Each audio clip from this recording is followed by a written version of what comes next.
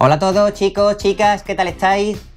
Bienvenidos a un nuevo vídeo aquí en el canal en Interfaz Coleccionista y hoy tras cuatro meses desde que os traje aquel juego japonés de PlayStation 2, Scandal, un juegazo 10 bajo mi punto de vista, retomo la sección con Sega Saturn para traeros la última maravilla que he finalizado, que la finalicé ayer, os se ha dicho, un action RPG japonés versión americana por supuesto, la que voy a mostraros hoy y que se ha convertido en una auténtica delicia, uno de los mejores juegos de Action RPG que he jugado últimamente y que me ha hecho disfrutar como hacía muchísimo tiempo que no recordaba yo disfrutar tanto con un juego de rol retro.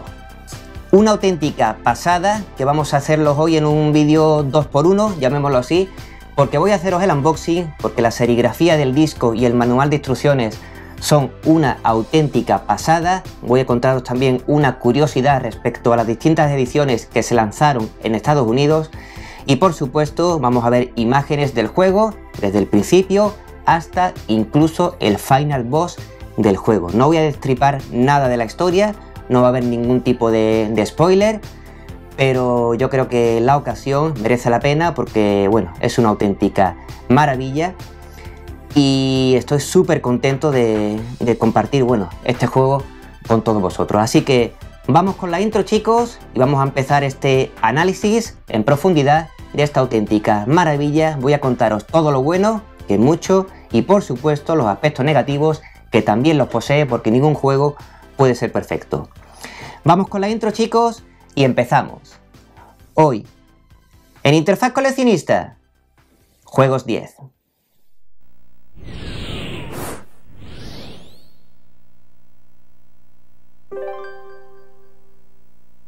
Y arrancamos el vídeo de hoy chicos mostrándoos esta auténtica pasada bautizada como Magic Knight Rayer, un action RPG fantástico desarrollado por Sega y lanzado en el mercado japonés en el 1995 y en tierras americanas en 1998. En el caso de la versión japonesa fue la propia Sega la encargada de su publicación, pero en el caso de la versión americana, fueron Working Designs los encargados de su publicación y por supuesto localización íntegra al inglés, tanto voces como subtítulos, como traducción. Voces sí, como habéis oído bien, porque el juego dispone de voces en inglés, que ahora hablaremos de ello más adelante. Y bueno, mientras abro el juego y os voy mostrando imágenes ya después en captura y en edición de, en primer plano, me gustaría empezar por, bueno, por algo que puede causar un poco, no, no voy a decir polémica, pero bueno, me choca bastante, y lo estáis viendo ya en imágenes, las notas globales que se llevó este título en su día.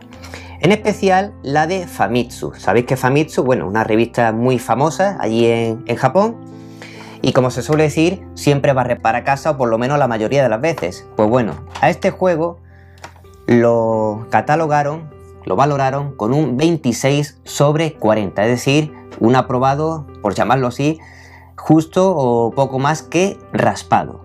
Y sin embargo, hay otras notas, como ya veis en el pantallazo, que bueno, que se van un 9,5, etc. Yo bajo mi punto de vista, yo creo que este juego ha ido ganando popularidad eh, gracias al coleccionismo, gracias al tiempo, etc. Y como se suele decir, el paso de los años ha puesto a este título donde verdaderamente se merece. Y es en la categoría de, bueno, de juego de nicho, de culto, de obra de arte, y ha pasado pues como con un sinfín de, de, títulos que pasan totalmente desapercibidos y al final pues es el usuario y el coleccionista donde, como yo digo, catapulta el título a donde verdaderamente se merece. Yo creo que también tiene culpa que el juego en América se lanzara a finales del año 98. Sabéis que por aquel entonces Sega ya tenía ojos para Dreamcast y sinceramente, aunque el juego hubiese venido aquí a territorio europeo en formato PAL, dudo mucho de que viniera incluso con traducción al castellano. Yo creo que hubiera sido un copia y pega y el juego nos, nos hubiera llegado íntegramente también en inglés. Como estáis viendo ya en imágenes, el manual de instrucciones es una auténtica maravilla. a todo color, con diseños de anime preciosos y bueno, y te explica un poquito la historia, cada uno de los personajes, es que incluso hasta las hojas que estáis viendo de que te explican el menú del juego son una auténtica maravilla.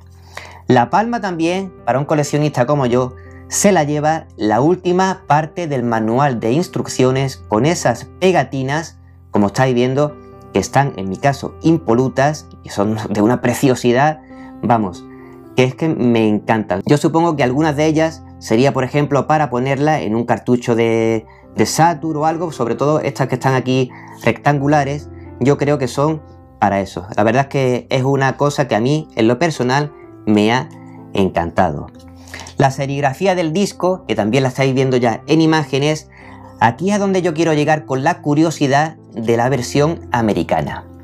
El juego en América se distribuyó eh, no en varias ediciones porque el juego no deja de ser el mismo y la caja, mm, manual, instrucciones y contraportada sigue siendo la misma, pero depende de, la suerte, porque esto es una cosa al azar, que tocará la serigrafía del disco con Hikaru, la chica pelirroja, la serigrafía del disco con Yumi, la chica de pelo azul, o precisamente la que estáis viendo ahora en imágenes, que es la que a mí me ha tocado, que es la de Fu, la chica de gafas, que es la que maneja eh, el arco. Esto está muy chulo porque cada serigrafía es una preciosidad, pero de cara al coleccionismo es también una odisea, porque si ya bien es difícil hoy en día hacerse con una copia de este juego, imaginaos encontrar las tres y cada una que tenga la serigrafía del disco correspondiente. Un poco locura, pero bueno, yo estoy más que satisfecho de tener esta versión completa y en un perfectísimo estado. Bueno, yo creo que ya podemos ir dando paso al análisis del juego, ya estáis viendo imágenes del mismo en captura, imágenes que por cierto que muchas veces me preguntáis, esto ha sido capturado, como sabéis, desde hardware original con el apoyo de Frame Meister. Yo cuando utilizo el M Classic, el Cinema Edition para que me haga un anti-aliasing, etc., normalmente son para juegos de 128 bits en adelante. En 32 bits, sabéis que depende de si el juego es poligonal, lo utilizo, pero en este caso, como hablamos de un juego en dos dimensiones, me gusta más el aspecto pixel perfect, llamémoslo así, sin aplicar anti-aliasing alguno. Yo creo que lo justo sería comenzar eh, explicando un poquito el tema de este juego, Magic Knight Rayer, Juego que por cierto está basado en la serie de, animación del mismo nombre que tengo entendido que no solamente se emitió en Japón, sino también en Estados Unidos. Por cierto, también existe un juego con el mismo nombre que os dejaré pantallazo de, de, la caja en edición para Super Nintendo, que ese es otro tema que bueno, también quiero hacerme con ese juego. Yendo al juego en cuestión para Sega Saturn, nos poníamos en la piel de tres chicas adolescentes, Hikaru, la chica pelirroja, Umi, la chica de pelo azul, y Fu, la chica de gafas. Estas chicas son adolescentes de 14 años cada una, si mal no recuerdo, y cada una se convierte en las Magic Knights, en las guerreras mágicas durante el juego. El juego comienza cuando están estas chicas de excursión en la torre de Tokio y de buenas a primeras se ven introducidas en un mundo mágico, en el mundo de Zefiro. Todo ello con la idea principal, y es lo único que voy a contaros de la historia, de rescatar, de salvar a una princesa llamada Emerald. Esta princesa, pues bueno, ha sido raptada por el malvado Zagat y en este juego nos convertiremos en esas guerreras mágicas, en esas Magic Knights, y cada una de estas chicas tendrá no solamente un arma correspondiente, sino también un tipo de magia distinta. En el caso de la chica pelirroja, utilizaremos como arma una espada y su magia está basada íntegramente en fuego. En el caso de la chica de pelo azul, la magia es agua y como arma principal utiliza también otro tipo de espada. Y en el caso de Fu, la chica de gafas, su arma es un arco y su magia se me antoja, como se suele decir, de curación. Porque por un lado tenemos una magia que cura tanto a ella como a sus compañeras. Por otro lado tenemos también la magia de levitación, idónea sobre todo para la última parte del juego en la que tenemos que flotar sobre la lava de volcanes. Y también tiene un ataque pues para los enemigos. Tened en cuenta que cada una de las chicas tiene tres tipos de, de ataques 3 del fuego, 3 de agua y en el caso de la última tiene un ataque, una curación y la levitación. Magic Knight no es un juego, como se suele decir, típico al uso. Es decir, que olvidaos aquí de un juego de rol de 200 horas, olvidaos de tener que estar constantemente leveando y la dificultad que supone subir de nivel. No. Magic Knight Rayer es un juego que, como se suele decir, no quiere que en ningún momento te quedes bloqueado. Es un juego casi que te lleva de la mano. Y digo casi porque no hay un mapa que te indique dónde tienes que ir.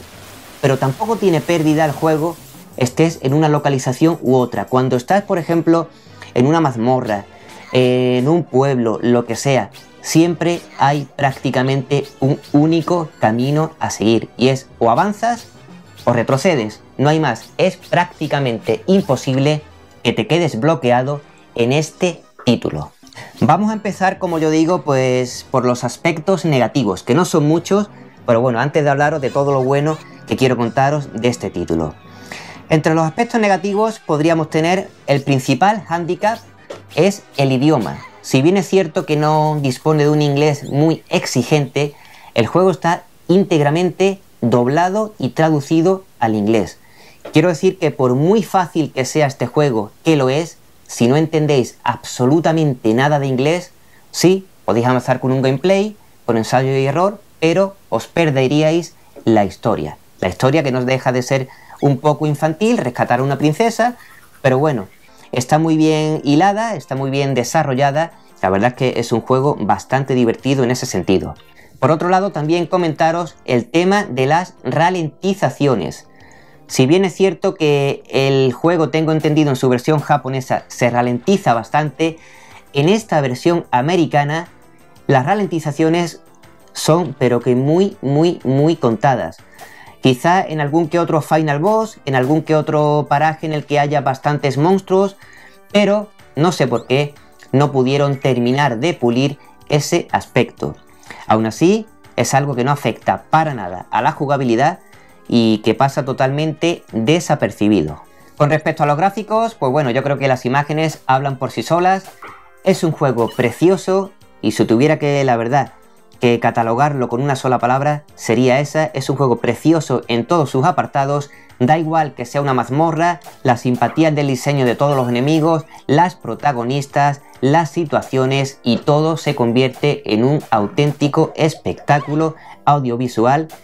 Y deciros que el juego goza de todo tipo de aquellos efectos que se criticaban a Sega Saturn. Es decir, aquí vamos a tener transparencias reales, vamos a tener efectos de luces y por supuesto no van a faltar deformaciones y zoom de sprites. Todo ello, transparencias, efectos de luces, sin estar absolutamente y para nada tramados. En ese sentido, es un espectáculo y yo creo que demuestra que Sega Saturn podía sacar pecho, llamémoslo así, del tema de las dos dimensiones. Se nota que es una consola que estaba pensada para este tipo de gráficos. Las batallas, por ejemplo, serán siempre en tiempo real, veremos en todo momento a los enemigos y deciros que aquí no necesitamos luchar con los enemigos para ir subiendo de nivel, sino que será en la propia historia, llegado a un momento determinado, cuando subiremos de nivel de manera automática. Yo sé que aquí os estaréis preguntando, bueno, si eso es así, ¿qué sentido tiene el luchar? Pues bien, tiene sentido porque cada vez que eliminemos a distintos monstruos recibiremos gemas. Con las gemas azules recargaremos la barra de, de la magia. Con unas bolitas, llamémoslo así, que parecen bolas de fuego anaranjadas, recargaremos la barra de salud.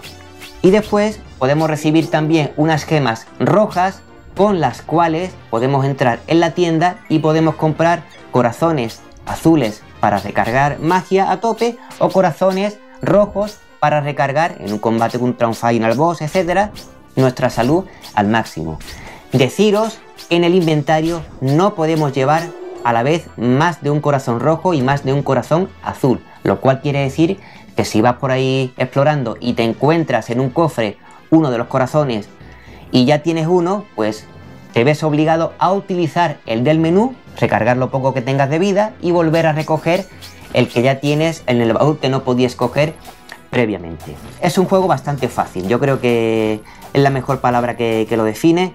En prácticamente ningún momento te vas a quedar bloqueado, salvo en el último tramo del juego que hay un laberinto y sería bueno, si quieres explorar en profundidad como yo, pues sí que te quedarás un poquito bloqueado, pero vamos, nada que, que te haga, como yo digo, desesperarte.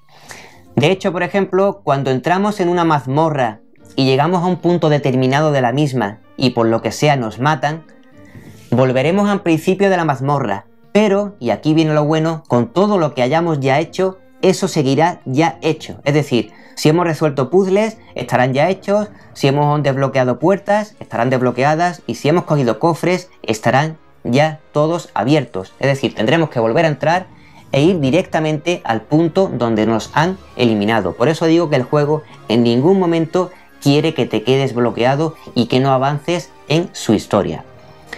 Deciros que solamente podremos llevar durante el juego a una chica, la cual podremos ir rotando entre las otras dos con los gatillos del mando de Sega Saturn. Cuando manejamos a una, las otras dos se mueven de manera automática y en los combates siempre lucharemos con una y las otras dos se quedarán, llamémoslo así, al margen. Podremos ir alternando de una a otra en mitad de, la batalla o incluso en mitad del juego. A mí personalmente la chica que más me gusta es Fu, en el sentido para atacar por el tema del arco, porque te facilita mucho los ataques a larga distancia. Y para el combate de enemigos cercanos, para conseguir gemas, pues bueno, bien sea Hikaru o bien la chica del pelo azul. La verdad que es un juego que me encanta, que me enamora. Y también deciros que hay un pequeño defecto que no molesta en absoluto, y es que cuando vamos avanzando en el juego y las otras dos chicas nos siguen de manera automática, hay veces que se quedan atascadas, bien sea en una casa o bien sea en un árbol, lo que sea. Podemos seguir avanzando, no hace falta que volvamos a atar y cuando lleguemos a la zona nueva ya estará de nuevo la protagonista allí. Deciros también que el juego consta de aproximadamente 20 minutos de escenas de anime, desde la intro hasta infinidad de escenas intercaladas durante el juego que le van como anillo al dedo y escenas la verdad que para ser Sega Saturn se ven con bastante buena calidad.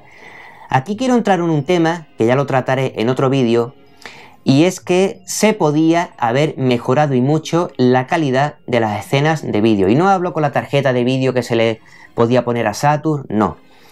¿Sabéis de un juego fetiche para mí que es Enemy Zero, Enemigo Cero de Kenji Eno, de la compañía War? Pues bien, aquel título hacía, bajo mi punto de vista, el mejor uso del True Emotion para Sega Saturn, es decir, el uso de una de las mejores herramientas que hubo para mostrar imágenes de vídeo, CGI, escenas en Sega Saturn sin llegar a estar pixeladas y con la máxima nitidez posible. Y digo una de las mejores herramientas porque hubo una por encima del True Emotion que muy poca gente conoce y la verdad es que no se le recuerda, llamada Lucid Motion, que fue utilizada en un par de juegos japoneses, si mal no recuerdo, Desire y F de los One, que ya veremos por aquí, y os garantizo que la calidad de vídeo, gracias a esa herramienta, es espectacular. Entonces me hubiera encantado que, bueno, por rizar el rizo, hubieran utilizado ese tipo de herramientas. Y que la verdad, no sé si para utilizaron aquí Cinepack o True Emotion para las escenas de vídeos, pero si utilizaron True Emotion podían haberlo hecho mejor y más habiendo visto lo que hizo Kenji Eno en Enemigo Cero, que también vendrá a esta sección de juegos 10. En cuanto a diálogos, también sorprende que el juego esté íntegramente con voces al inglés, un doblaje, la verdad, que se me antoja soberbio. Deciros que no durante todo el juego vamos a tener voces en inglés, lo tendremos durante las escenas, durante las cinemáticas y durante los puntos eh, llamémoslo así, más importantes del juego. Pero, así a bote pronto, yo creo que podremos tener perfectamente eh, una hora de diálogos en inglés durante el juego, quizá algo menos, más o menos, un poco a ojo, no lo sé. Y el resto pues será, como siempre, traducido al inglés. En cuanto a la duración, una vez que lo finalices, ya sabiéndotelo de memoria, se puede hacer perfectamente y finalizar en menos de 10 horas. A mí me ha llevado aproximadamente entre 12 y 15, 16 más o menos, porque bueno, Me han matado varias veces, sobre todo en la parte final del laberinto. El jefe final, el final boss, lo he tenido que repetir, creo que han sido cuatro veces. Y sobre todo también porque me gusta explorar y deleitarme y embelesarme con el preciosismo gráfico de este título. Es decir, entrar en un pueblecito y antes de ir a donde tengo que ir, pues hablar con todo el mundo, meterme en todas las tiendas, meterme en el hotel, en el hospital, en todas las casitas, ver cómo está todo hecho con ese mimo, con ese detalle exquisito, porque es que no tiene otro nombre, me ha encantado. La verdad chicos que se me antoja un juego imprescindible, una auténtica maravilla. Y otro tema que también que me gustaría comentaros es el preciosismo del menú. Menú en el cual tendremos un inventario, podremos grabar partidas, ajustar alguna que otra opción. Y también si se da el caso de que no sabéis cómo avanzar, podemos tener una ayudita porque tenemos un diario íntegramente en inglés que también podremos oír en el mismo idioma. O también podremos eh, tener una especie de ayuda con el oráculo. Y bueno, con un chico llamado Clef y nos dirá, pues bueno, nos dará una pista de lo que tenemos que hacer en ese momento, etcétera. La verdad es que es un juego que a mí me ha maravillado, chicos y demuestra que bueno que los juegos en dos dimensiones son los que en cuanto a retro han aguantado mejor el paso del tiempo. Sabéis todo de sobra que Saturn es uno de mis sistemas favoritos junto a Dreamcast, sabéis que soy ceguero, sabéis que no me escondo para nada a la hora de decirlo, sea aquí en público o sea en privado, pero este Magic Knight Rayer es un imprescindible para Sega Saturn, no llega a los niveles de espectacularidad de Panzer Dragon Saga, tampoco lo necesita ni lo pretende, pero se convierte automáticamente en uno de mis JRPG, en uno de mis Action JRPG favoritos y de tantos otros que bueno, ya iremos viendo por aquí, que me quedan por jugar, que he jugado y no he traído todavía al canal, etcétera. Una auténtica pasada. Y también deciros que el tema de la banda sonora. La banda sonora, la melodía de la intro, para mí es una auténtica pasada y durante el juego acompaña perfectamente a la acción en todo momento.